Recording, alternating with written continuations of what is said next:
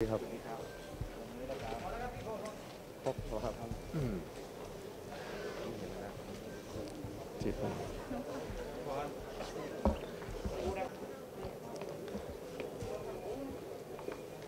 ถือนี่มาถือนี่ท่านประธานคะวันนี้จะเรียก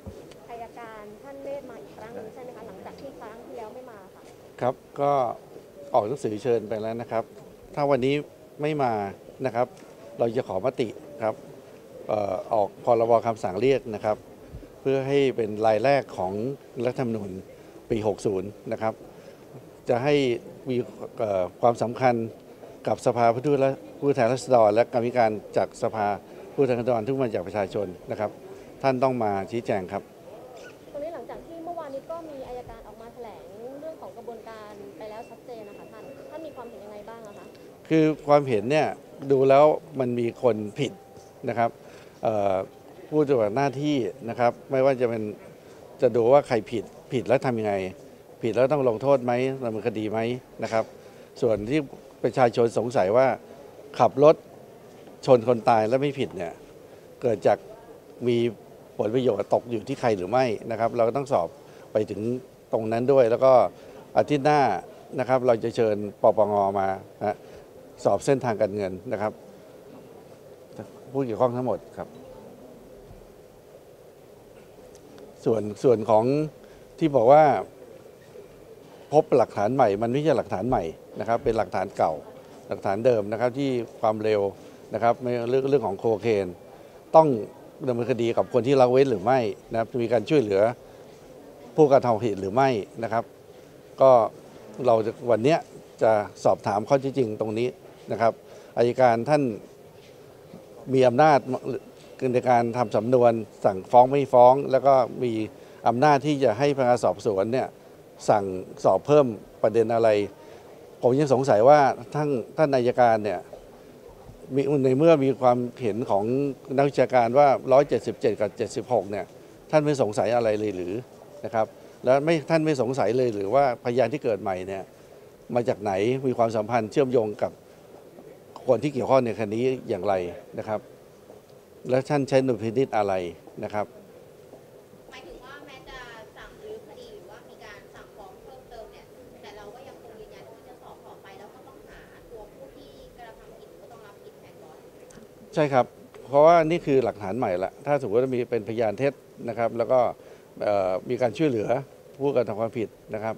เรื่องนี้มันประชาชนเนี่ยเครือบแคลงสงสัยจริงๆว่า คนมีฐานะดีนะครับ แล้วก็ต้องพ้นผิด แต่คนที่มีฐานะไม่ดีเนี่ยต้องติดคุก และขอความเป็นธรรมทางอายการทางตำรวจ ไม่ไม่ทำอย่างนี้เลยเหรอนะครับอายการเลือกปฏิบัติหรือไม่ที่ที่ทำกับคนที่มีสตังค์นะครับ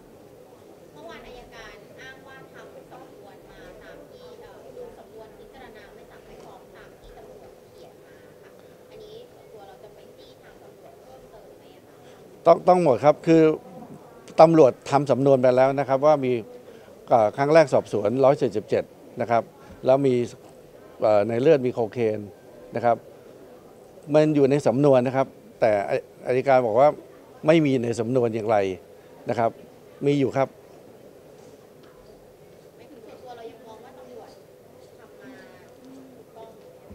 คือตรงเนี้ยวันเนี้ยจะหนึ่งเนี่ยผมขอให้ ทางอายการเนี่ยเอาสำนวนสอบสวนทั้งหมดนะครับในการสั่งไม่ฟ้องนะครับ และตำรวจก็เอาสำนวนทั้งหมดมาที่กรรมิการ ผมขอดูตรงนี้เท่าที่เป็นข่าวเนี่ยเรื่องนี้มาอยู่ในสำนวนแล้วนะครับ177 กับโคเคนน่ะนะครับการการประชุมวันนี้ที่เชิญมามีใครบ้างยังไงบ้างครับรูปแบบเป็นยังไงประเด็นที่จะตั้งคำถามรูปแบบวันนี้จะมีกรรมิการสองคณะประประชุมร่วมนะครับเอ่อซักถาม แล้วให้ผู้ชี้แจงชี้แจงนะทำร่วมกันนะครับ แล้วก็ในประเด็นที่ว่าข้อแรกเนี่ยคณะกรรมการอายการเนี่ยมีมีความเห็นยังไง สอบสวนไปอย่างไรนะครับสองนี่คือดูสำสำนวนนะครับสามเนี่ยจะจี้แปลว่าเห็นขนาดนี้เนี่ยต้องมีคนติดคุกหรือไม่ ติดคุกแทนบอสหรือไม่นะครับตรงตรงนี้ด้วยครับ ว่าคือพบผู้กระทำความผิดมีการช่วยเหลือพยานเท็จ ต้องดำเนินคดีหรือไม่ และเรื่องของของคดีของบอสเนี่ยจะทำกันยังไง จะดำเนินคดีเลยหรือไม่ครับกับบอสครับอ่าสัปดาห์ที่แล้วบอกว่าขอชาวเลขแล้วก็ขอบันทึกการประชุมของกรรมาธิการกฎหมายในยุคสนชไปครับ ความคืบหน้าเป็นยังไงได้มาแล้วครับ ได้มาแล้วได้มาเมื่อวานนี้ครับ ได้มาแล้วก็ให้เอ่อคณะกรรมการก็ไปศึกษานะครับ วันนี้จะมีประเด็นที่ถามลงรายละเอียดลึกเข้าไปอีกครับ แล้วก็ เรื่องนี้มันเป็นที่สะเทือนใจของประชาชนนะครับว่าคดีเนี้ยมีคนขับรถชนคนตาย แต่ไม่ผิดทำได้ยังไงทำกันยังไงนะครับ วันนี้ผู้เกี่ยวข้องทั้งทั้งหมด ผมจะคณะกรรมการของเราเนี่ยถามละเอียดนะครับ ส่วนส่วนเรื่องของการกระบวนการยุติธรรมนะครับ เห็นชัดๆเลย เหตุเหตุเกิดเมื่อวานอีก เรื่องบ่อน เรื่องนี้ผมก็ต้องทำนะครับทำเพราะว่าผมจากข่าวเนี่ยเชื่อว่ามีการทำลายหลักฐาน นี่คือกระบวนการยุติธรรมนะครับตำรวจยุคนี้ทำกันยังไงนะครับ เข้ารับแจ้งสี่ทุ่มเข้าไปที่เกิดเหตุ มีการทำลายหลักฐานหรือไม่นะครับ มีการเคลื่อนย้ายศพหรือไม่ มีการเคลื่อนย้ายต่างๆ หรือไม่นะครับ ตรงเนี้ยเราจะมาถึงรูปกระบวนการยุติธรรมนะครับ เรื่องบ่อนการพนันเนี่ย เราก็ต้องให้ผู้รับผิดชอบปราบนะครับ ได้ข่าวว่า ในสภาเนี้ยก็มีการเปิดให้เล่นการพนันการพนันอันนี้ข่าวนะนะครับ ผมก็จะตรวจสอบว่าเล่นกันจริงหรือไม่นะครับ เรื่องนี้เราจะเริ่มเริ่มต้นจากรัฐสภาเราเรื่องการพนันนะครับ จะไม่ปล่อยให้มีการเล่นการพนันในรัฐสภานะครับ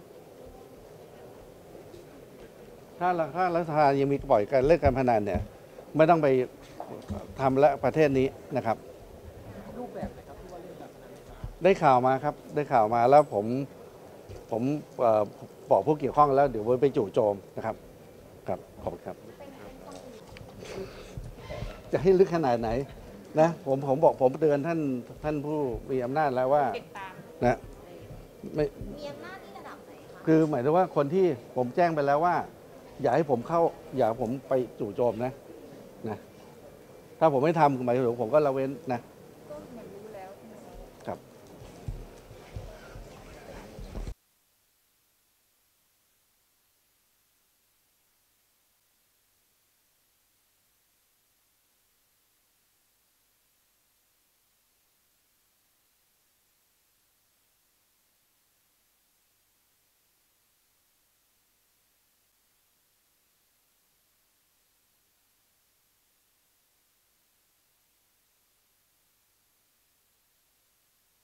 นี่นะครับก็คือผมบอกว่า